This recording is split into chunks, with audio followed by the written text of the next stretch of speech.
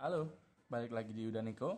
Nah, habis selesai dengan OSK 2017 untuk persiapan OSP 2018, saya coba ngebahas nih beberapa soal, eh, soal-soal di OSP 2017 ya. Langsung aja, nomor satu. Angin matahari di dekat orbit bumi memiliki kecepatan 400 km per detik dan mengandung 10 proton per cm kubik. Jika dua besaran tersebut dianggap selalu tetap, sehingga umur matahari saat ini yaitu 4,5 miliar tahun, maka masa matahari yang telah hilang karena angin matahari berapa gitu ya. Oke, uh, saya sih nggak tahu rumus uh, langsungnya ya, tapi kalau pakai logika sederhana, kita pakai logika dasar saja, kita pakai kesebandingan deh misalnya nih ya. Cek, yang ditanya adalah masa matahari yang hilang. Masa berarti ya. Oke. Sekarang kita coba cek kesebandingannya dengan uh, besaran-besaran yang kita tahu. Apakah sebanding atau berbanding terbalik? Kalau sebanding berarti nanti dikali, kalau berbanding terbalik nanti dikali bagi gitu ya. Cek. Sekarang ada angin mataharinya kecepatan segini. Jika kecepatan ini makin besar, maka masanya pun makin besar. Masa yang hilang pun makin besar. Artinya ini sebanding. So, ini sebanding kali. Terus ada 10 proton per cm kubik.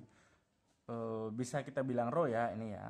Jadi kalau rho-nya makin besar, ada lebih banyak proton, berarti masa yang hilang juga lebih banyak. Maka ini tinggal kita kali. Oke.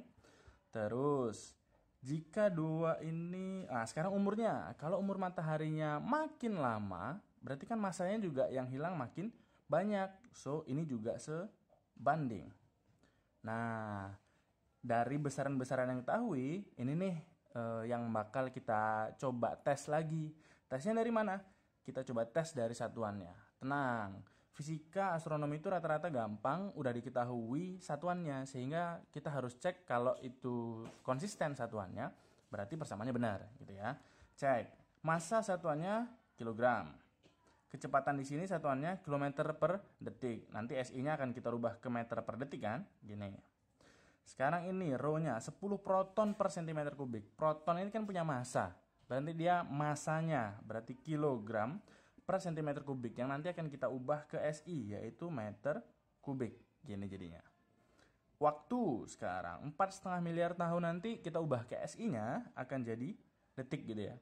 Nah, dari sini S, S hilang, M-nya, ini pangkat 3, jadinya M pangkat 2. Nah, ini kan belum konsisten nih.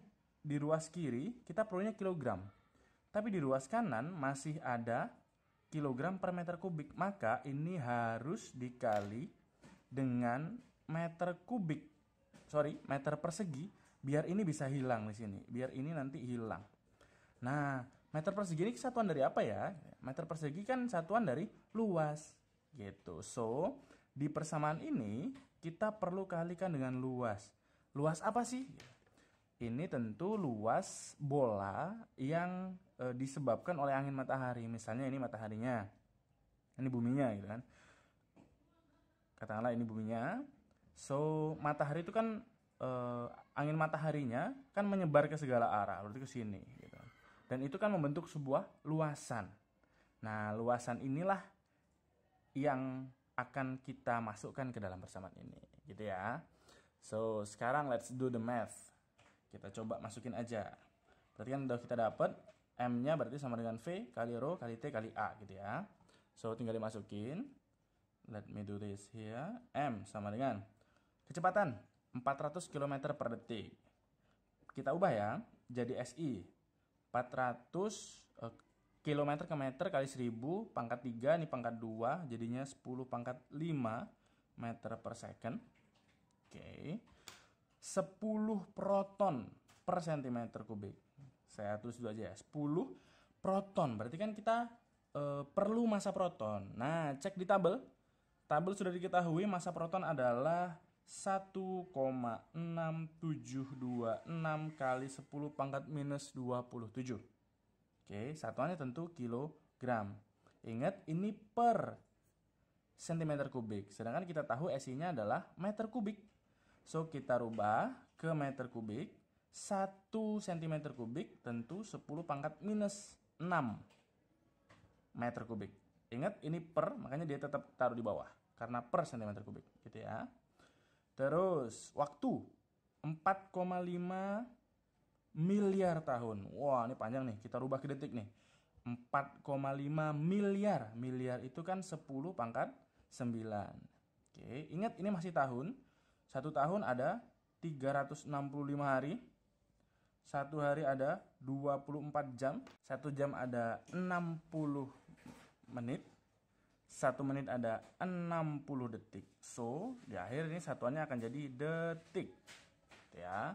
Terus, kita cek dengan luas sekarang. Nah, seperti kita tahu, luas bola itu rumusnya 4 R kuadrat gitu ya. R-nya mana? R-nya tentu ini jarak dari sini ke sini.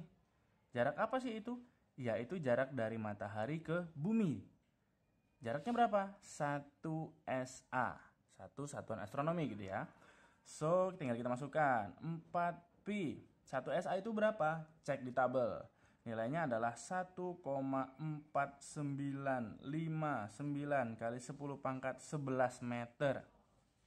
Oke, nanti satuannya dalam meter persegi. Up, ini kita kuadratkan, gitu kan? Oke.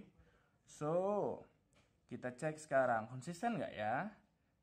S sama S habis. Gitu ya. Meter persegi sama meter sama meter pangkat 3. M pangkat 2 kali M M pangkat 3 dibagi dengan M pangkat 3 habis gitu ya. So sisa satuannya nanti adalah dalam kilogram. Nah, konsisten sudah. Ya. Bagaimana cara ngitung ini? Saya serahkan ke kalkulator, tinggal pencet saja kalkulatornya, bla bla bla bla, pencet saja pokoknya. Uh, nanti akan dapat nilainya yaitu 2,668 kali 10 pangkat 26 kilogram. Oke. Nah, kita cek semua pilihan jawaban di sini itu menunjukkan perbandingannya dengan masa matahari. Maka kita perlu membagi ini dengan masa matahari, ya. So, ini kita bagi dengan masa matahari. Cek di tabel, nilainya yaitu 1,989 kali 10 pangkat 30 kg.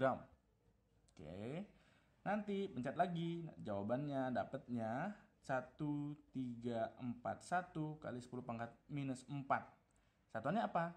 Satuannya tentu adalah berapa kalinya masa matahari gitu ya. So, inilah jawabannya. Pilihan jawabannya tentu yang C. Oke, gitu aja. Semoga bermanfaat. See you on the next number.